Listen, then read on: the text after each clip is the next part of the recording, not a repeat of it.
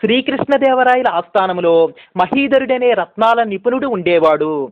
రాజు దగ్గరకు వర్తకులు తెచ్చే రత్నాలను పరిశీలించి వాటికి విలువ కట్టడమే ఆయన పని. అతడు రాజుకి ఎంతో నమ్మకమైన వాడు మహీధరుడి కొడుకు సుధీరుడు కూడా ఈ వృత్తిలో ప్రావీణ్యుడే. ఒకసారి ఇద్దరు వ్యాపారులు సుధీరుడి దగ్గరకు వచ్చి తాము మరుసటి రోజు కొన్ని రత్నాలు తెస్తామని వాటిని పరిశీలించి తగిన ధర నిర్ణయించాలని కోరారు. అందుకు సరేనన్నాడు సుధీరుడు. కానీ ఆ రోజు రాత్రి వ్యాపారులలో ఒక్కడు మాత్రమే సుధీరుడను కలిసి రేపు తాము తెచ్చే రత్నాల విలువని సగానికి తగ్గించి చెప్పాలన్నాడు. అలా చేస్తే లాభములో సగం సుధీరుడికి ఇస్తానని చెప్పాడు. దాంతో సుధీరుడు సరేనన్నాడు. మరునాడు వ్యాపారుడు పదివేల వరహాలు విలువ చేసే రత్నాలు తెస్తే వాటి విలువ ఐదు వేలు మాత్రమేనని చెప్పాడు సుధీరుడు. ఒప్పందం ప్రకారం సుధీరుడికి వాటా ఇచ్చాడు వ్యాపారి.